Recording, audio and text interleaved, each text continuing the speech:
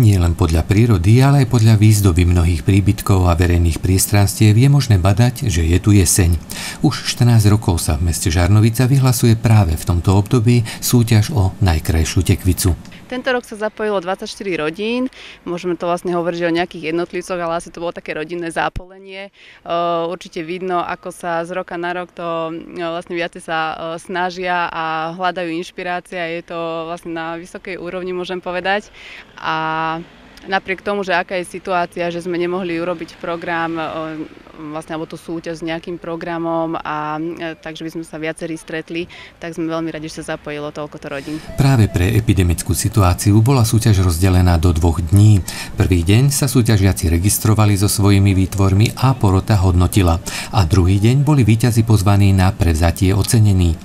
Trojčlenná porota, samozrejme bez identity jednotlivých autorov, len s číslami tekvíc, udelila trom najkrajším tekviciam ceny v troch kategóriách tekvica vyrezávaná, tekvica ako dekorácia a najväčšia tekvica. Bola som milo prekvapená, keď som sa s kolegyňami niektorých čísla zhodla, že, že fakt, že asi sme mali rovnaké zmýšľanie, aj keď vy sami vidíte, fakt ten výber bol veľmi ťažký. Nakoniec sme teda rozhodli, No a ja sa chcem poďakovať všetkým aj touto cestou, ktorí prišli aj v čase pandémie, aj keď to bolo teda na dva, na dva dní z dôvodu teda tých COVID opatrení a prišli a teda podporili svojou účasťou, že technicu priniesli, dali si tú námahu. Viceprimátorka udelila tradične ešte jednu cenu, cenu viceprimátorky mesta. Tento rok sa jej zapáčila tekvica Janka Kuzmína, no mladému autorovi sa to videlo nespravodlivé. No, ne, asi vyhrali šesi lebo tak vyhla iba jeden, to je nespravodlivé. Áno. Ty si vyhral miesto primátorky, čiže najviac sa páčila tvoja žabka? Áno. A kto ti pomáhal s ňou? Maminka. Osko, aj Osko, Osko mi ju vylezal. A kto vymyslel tú žabku? Moja maminka. Maminka? V kategórii vyrezávanej tekvice sa aj tento rok porote najviac zapáčila tekvica Barborky Cabánekovej.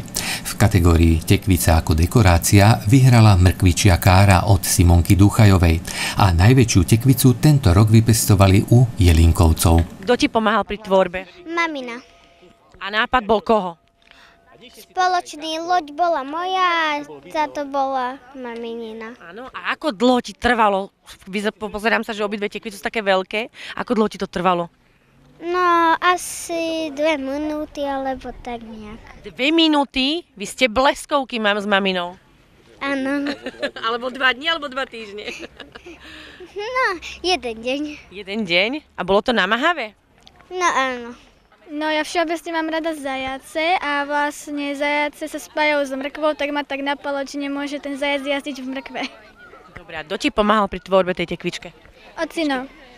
Ocino mi pomáhal dlabať a pripevňovať. A bolo to namáhavé, náročné? Ako dlho ti to trvalo?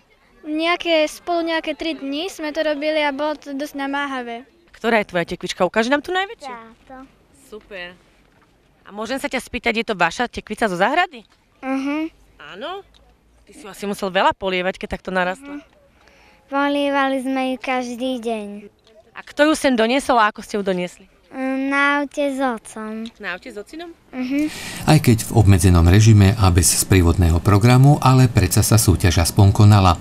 A 14-ročnú tradičnú súťaž v meste Tekvičiarov nepretrhla ani pandémia.